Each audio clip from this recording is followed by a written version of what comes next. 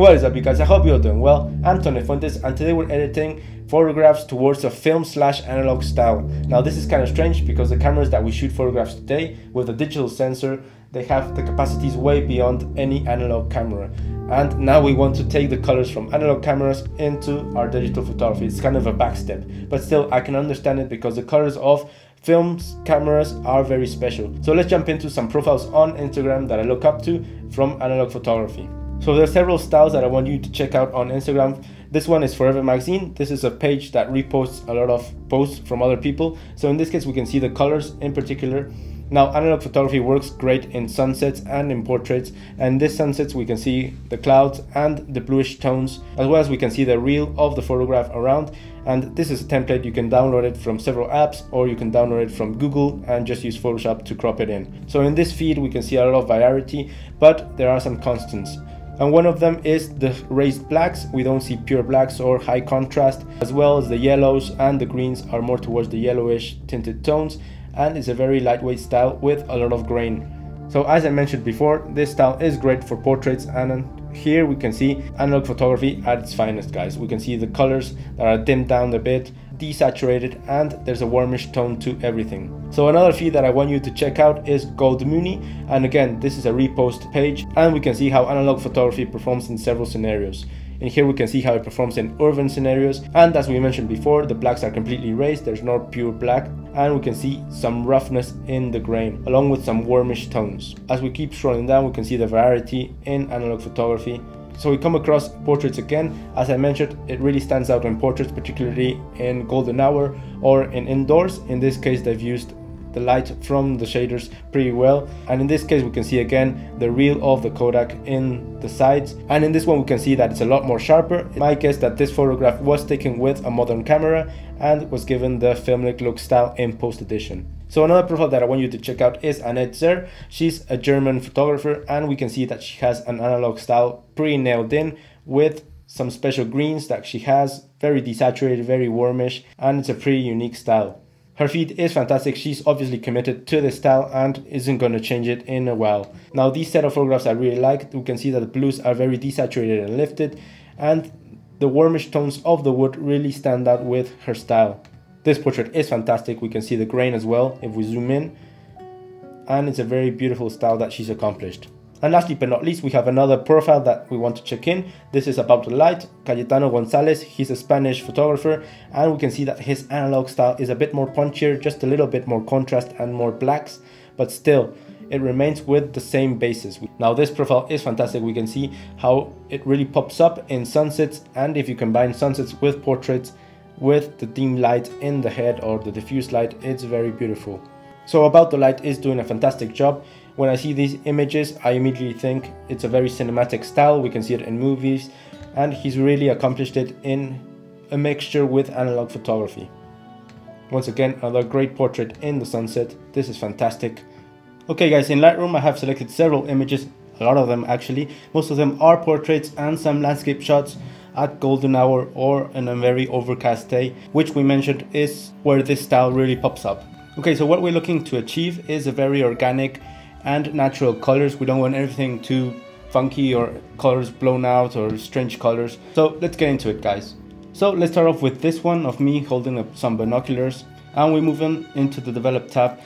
So as the first thing that we want to do is make the image a lot more flat towards the film look style. So for exposure, contrast and the white balancing we're not going to touch it. That will depend on each image. So in this case the first thing I'm going to do is pull down the highlights all the way down to a minus 65 pull up the shadows all the way to a 75 74 and then the whites I'm just going to take them down just a little bit to a minus 15 that will mean that the whitest parts of our image won't be as strong and I'm just going to return the blacks with a minus 5 okay next up texture clarity and dehaze. We're not going to move them at all. As I mentioned before we want natural looking colors. Because if we move clarity up we can see a lot of punch a lot of contrast and that's not what we're looking for.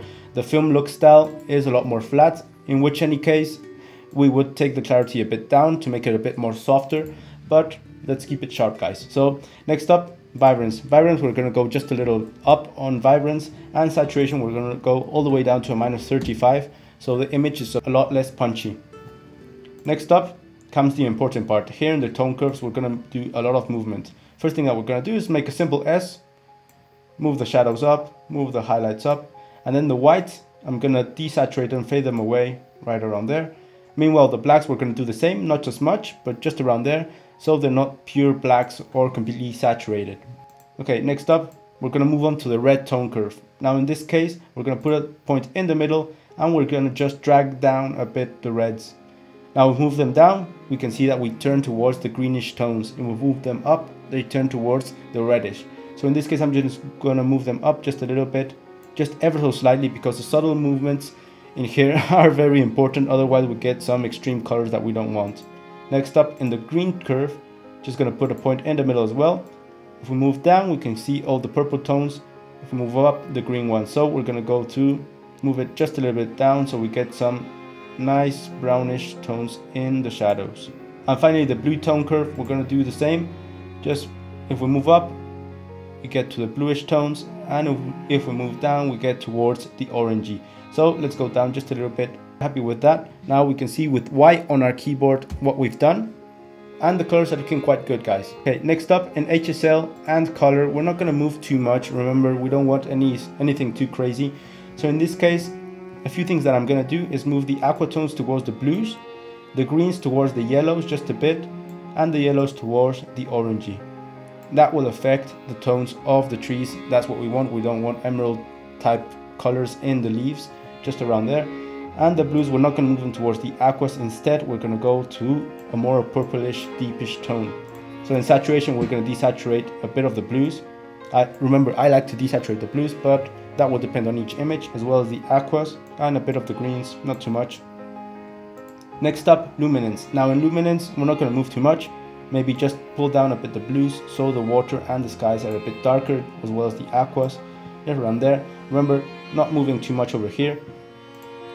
Then in split toning, what we're going to do is select a bluish color towards the highlights. Now, normally we do the opposite. We put the bluish tone in the shadows or at least in my edits. So in this case I'm going to type in a 215 and as we can see it's a mixture of blue and aqua so we're going to just put it at 25 for the moment and that's for the highlights.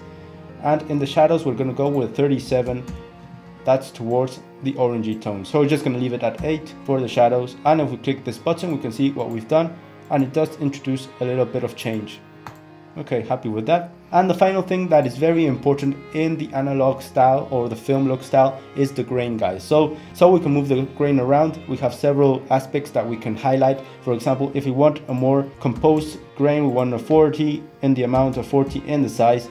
And as we can see, it's there, but it's not too distracting. So it's a very nice effect. Now, if we want it to be a lot more rough, we can pull up the, the size just a little bit, pull down the amount down and pull the roughness up and as we can see it's a lot more prominent and it's quite stylish and quite good guys. The opposite would be to pull the amount up pull the size down and reduce the roughness. Now we get some smaller kind of grain a lot more saturated but it still it could work. So for this case i'm just going to leave it in the middle with a 40 in size and 40 in roughness. So it's not too distracting. Okay so we finished the preset. Now let's go to presets hit the plus sign create preset and we're going to type in analog Remember to deselect white balancing and exposure and contrast that will depend on each image. So once we saved it, we can go on and see how it applies on other images. Okay, so next up we have this image in the fire inside in winter. So let's apply the preset and see how it performs. I'm gonna go down to user presets, analog, let's apply it. Okay, it's looking pretty good. Remember to go back to basic corrections and in each image you're gonna have to adjust the white balancing if needed and the exposure and contrast. So I'm just going to pull up the exposure just a bit. You can see the before and after with Y on our keyboard and it's looking pretty good guys. What do you think? Let's try another one. This one of Danny in Mazunte. Let's apply the preset and this one is underexposed. So we're going to have to move up the exposure. Let's move up the exposure just a bit. And what do you think guys? I like the tones of the blues in the skies and the subtlety towards the other types of colors. So it's looking pretty good. Okay, another one, this one of Danny on a sunset on golden hours. Let's apply the preset and it looks absolutely gorgeous guys. What do you think guys? Now for more stylized look, what I would do is add some clarity and we can see that it punches out a lot more, but that's not the analog effect. That's more of a Peter McKinnon kind of style. So let's return it. It's looking pretty good guys. Another one, this one is Lupita, my dog. She's deaf. So let's apply the analog filter and how about it? It looks pretty good. It's a very subtle change. We can see all those brownish colors that we've added into the shadows. Again, remember, if you want to invert this, if you want the shadows to be a lot bluish, you can always go down all the way down to split toning once again and change this up. We can change the 215 all the way down to the shadows and the 35 towards the highlights. And now we've inverted it. We had a bit more bluish in the shadows if we bump up this slider and a bit more warmer tones in the highlights. So that works as well for the portraits and all kinds of photography. So as I mentioned before guys, analog photography is a very wide field. There's a lot of ways to color grade and a lot of space for you to create your own unique style. Anyway, there are some constants in the style as I mentioned before. And by the way guys, I've created a preset pack with 14 of my best analog film look styles. If you want to go check it out, the link is down below. Also, I divided it into two ones. The 14 version and the light version with only just 5. It's a lot more cheaper.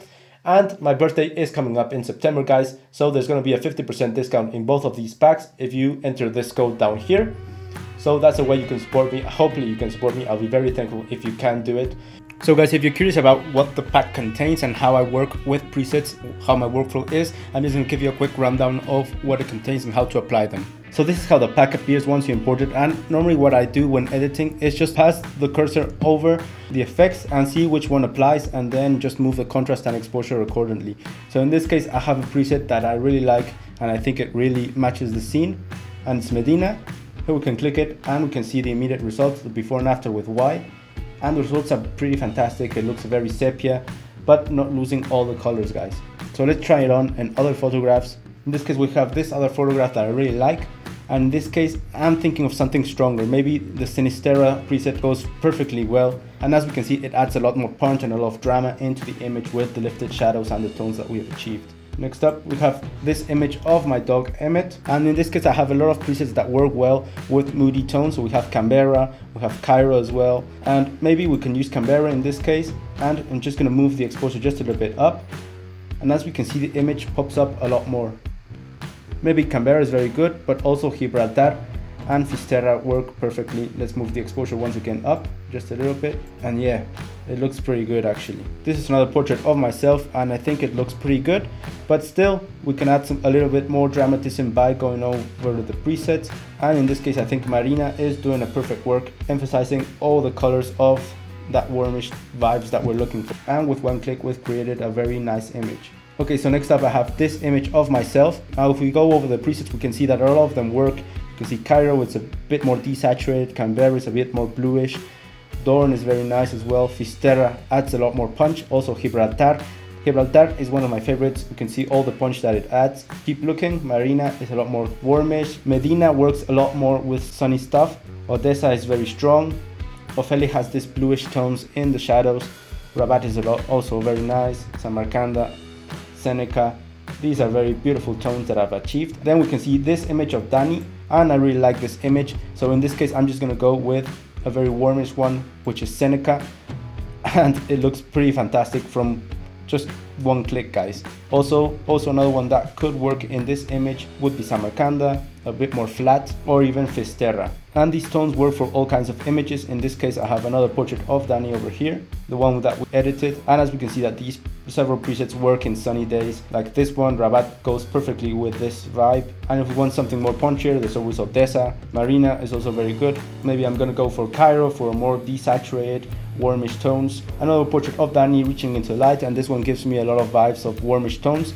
So I'm just gonna put in Rabat or maybe Medina. Yeah, and the colors are very beautiful, guys. Maybe even Cairo works. Yeah, it works perfectly. Or Seneca with a more saturated look.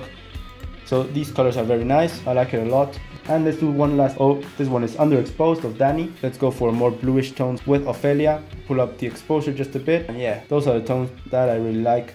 These presets are fantastic, guys. I've dedicated a lot of time into putting them together and to make them work in every kind of situation. So they'll do the job, guys. So if you did like the video, can you please give it a like? It really makes a difference and consider subscribing. Hit the notification bell to be notified when I upload the next video. I'm Tone Fuentes. Cheers to all of you and see you in the next one.